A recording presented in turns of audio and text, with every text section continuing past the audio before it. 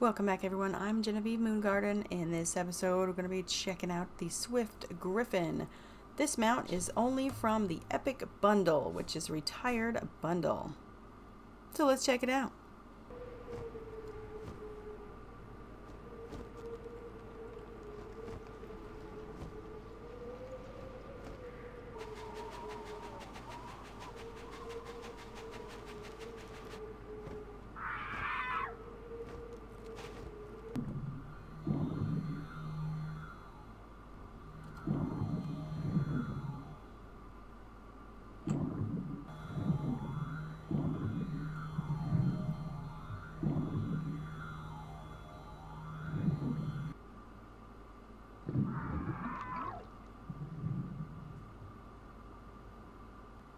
Thanks everyone for joining me on another video about these really cool mounts and we'll see you in the next one.